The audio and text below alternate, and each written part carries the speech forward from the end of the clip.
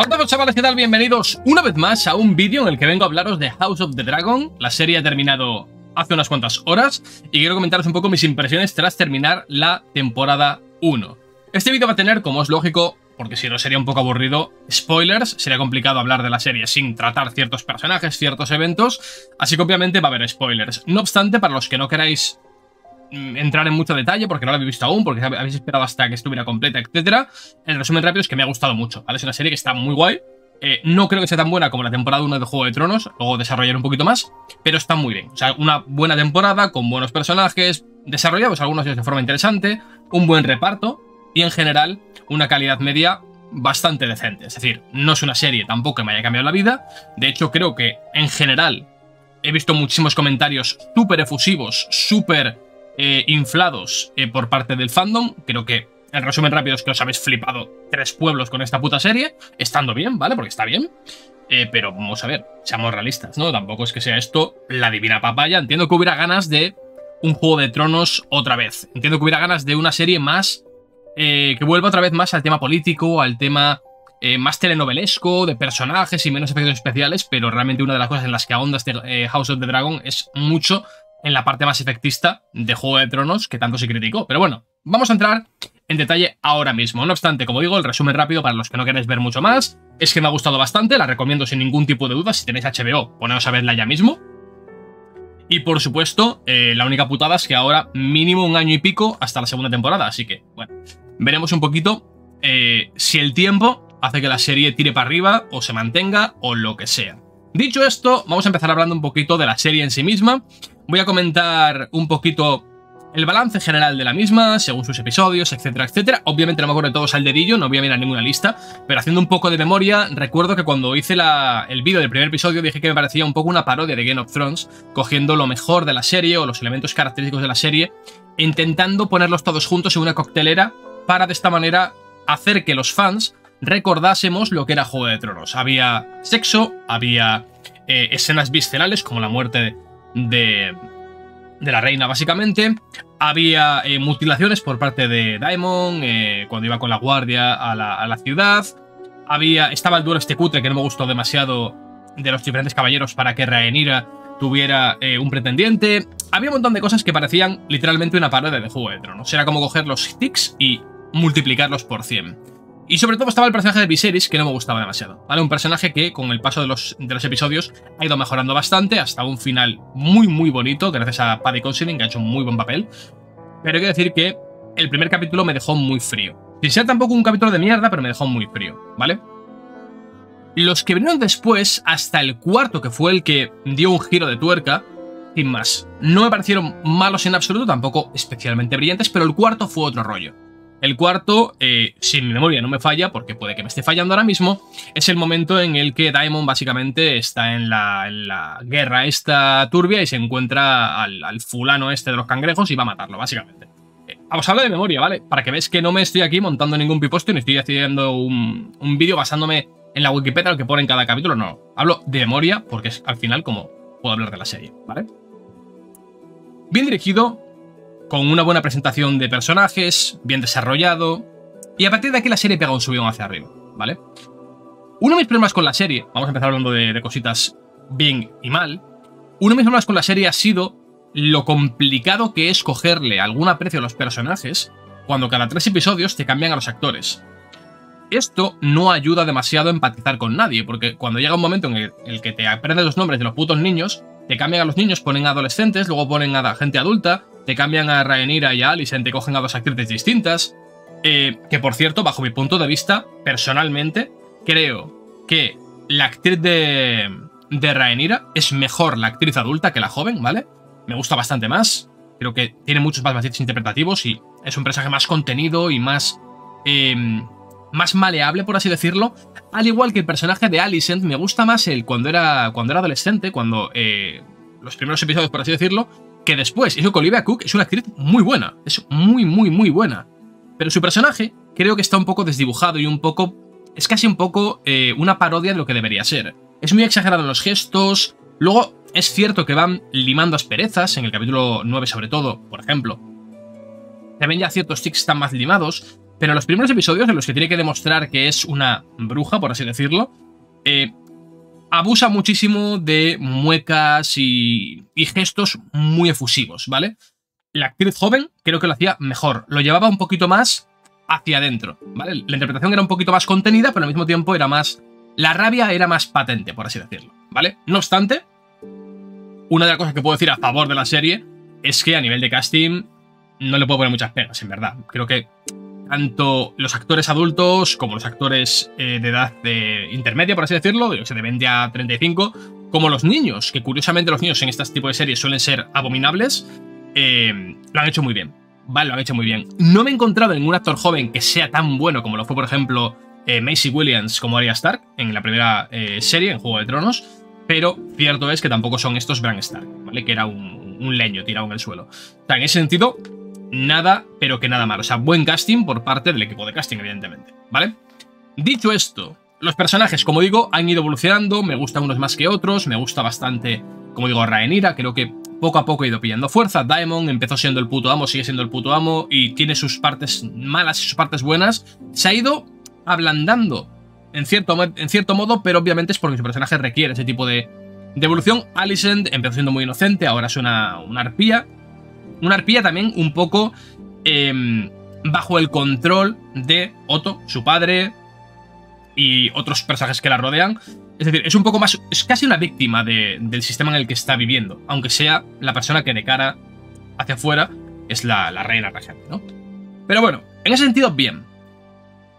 Ahora, ¿por qué digo que me parece que la temporada no ha sido tan buena como la primera de Juego de Tronos? Para mí, por una razón muy concreta. No tiene que ver con la sorpresa, ¿vale? Porque yo es cierto que no había leído Canción de Fuego y Hielo y tampoco he leído los libros en los que se basa la Casa del Dragón, con lo cual no sé lo que pasa ni lo que va a pasar a futuro, ni sabía lo que iba a pasar en esta temporada, no tenía ni puta idea, ¿vale? No es por la sorpresa, porque Juego de Tronos al principio tampoco me, me apasionó. Vi los primeros episodios, estaban curiosos, pero cuando realmente me petó la cabeza fue en el episodio... Bueno, aparte me gustaba mucho la parte de Daenerys, con el hermano por ahí, con, eh, con Drogo y todo esto, me parecía una subtrama muy interesante, muy bien eh, ejecutada. Lo que me rompió la cabeza del de Juego de Tronos temporada 1 fue, primero, la belleza visual de la serie, la puesta en escena.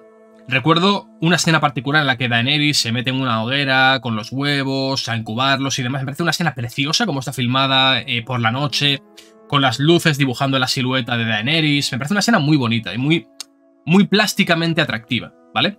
Y luego el episodio de Ned Stark.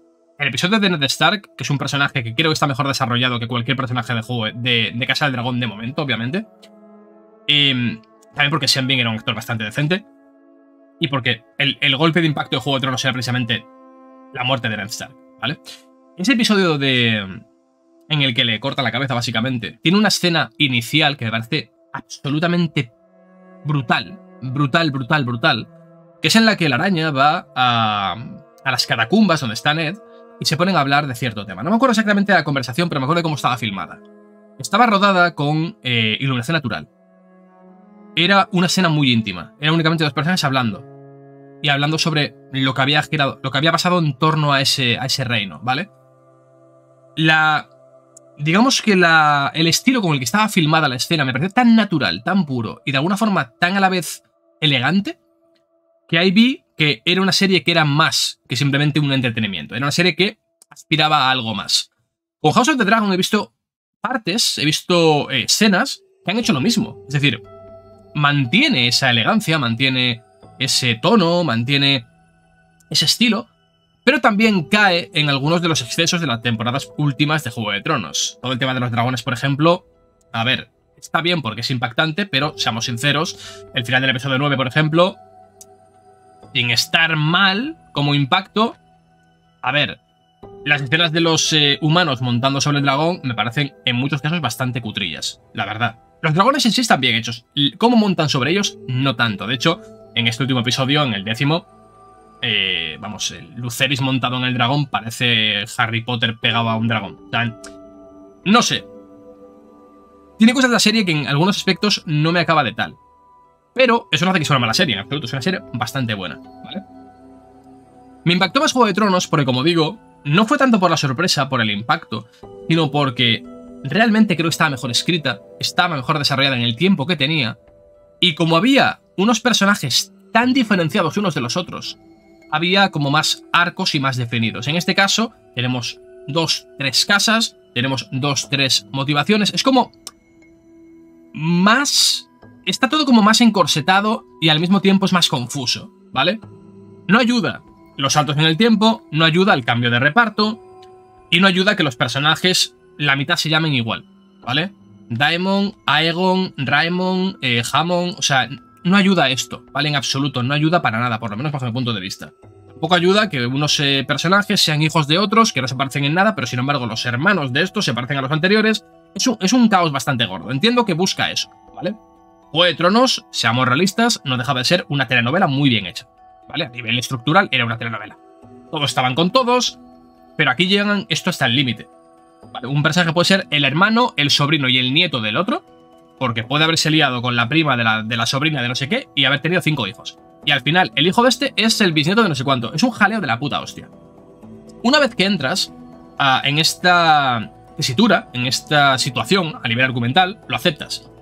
Pero insisto, el cambio de diferentes elementos, saltos en el tiempo, personajes, etcétera, no ayuda demasiado a el seguimiento y mucho menos a empatizar con algunos personajes, ¿vale? Porque obviamente puedo empatizar más con Viserys porque toda la serie ha sido el mismo actor, mismo rostro, mismo perfil, he visto cómo ha ido evolucionando y me gusta mucho el episodio en el que falla, ¿vale? Creo que está muy bien ejecutado. Creo que es bastante bonito como está filmado el momento en el que entra al trono, por ejemplo, cuando Daemon le corona la corona, eh, o sea, le coloca la corona en la cabeza cuando se le cae. Me gusta mucho el episodio que la gente odió, que creo es el séptimo, que es el, el del funeral, básicamente. El que está filmado que no se ve nada, ¿vale? Ese episodio me gusta mucho, me parece muy, muy bien que los primeros 20 minutos sean literalmente una recopilación de miradas furtivas entre los personajes, porque todos tienen cosas con todos, todos han hecho algo que es reprobable. Todos están en una situación tensa en un momento en el que tienen que estar ahí porque les toca, por la situación, por el duelo, y me gusta mucho la fotografía oscura de la serie. Me gusta mucho cómo es todo tan tenebroso. Me recuerda el episodio de la funeraria de... Em, la de la serie de terror de Netflix, la de... Joder, la maldición Hill House, ¿vale? Me recuerda un poquito a eso, salvando las distancias. Entonces me gusta la serie en muchos aspectos. Audiovisualmente creo que está muy bien, el reparto está muy bien. En general me ha gustado bastante, es decir, no diría que es una mala serie en absoluto. Lo que sí digo es que es fumar tres porros y decís que es la mejor serie que habéis visto en vuestra, en vuestra vida, aunque, aunque me gusta ver esa posibilidad. De hecho, me gustaría poder compartirla.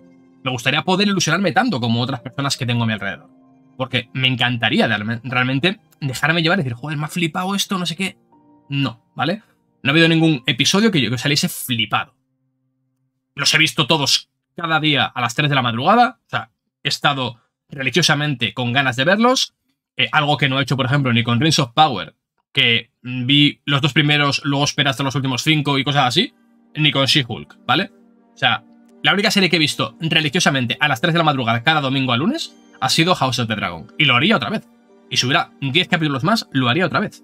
O sea, me ha gustado, de verdad. Pero, insisto, me da un poco de pena y... Eh, eso me, saca un poco no haberme ilusionado tantísimo como otras personas, aunque eso no significa, insisto, que sea una mala serie. Es una serie bastante buena y muy recomendable. En verdad creo que no se me olvida nada. Eh, podría hablar de más personajes o de más escenas o de más tal, pero creo que tampoco tiene ningún sentido extender esto hasta el infinito. Dejadme en comentarios si lo habéis visto, qué os ha parecido, si os ha gustado o no os ha gustado. ¿Creéis que está al nivel o por encima de la temporada 1 de Juego de Tronos? ¿Creéis que lo que viene a continuación va a ser bueno o no va a ser bueno? Yo qué sé, lo que os apetezca. Poco más que decir, chicos. Hasta el próximo vídeo. No sé. Eh, bueno, por cierto, no hice vídeo de Rings of Power porque imaginé que os iba a sudar la polla. Seguramente también os sude la polla. Pero vamos a probar y a ver qué tal. ¡Hala! Se me cuidan y hasta el siguiente vídeo.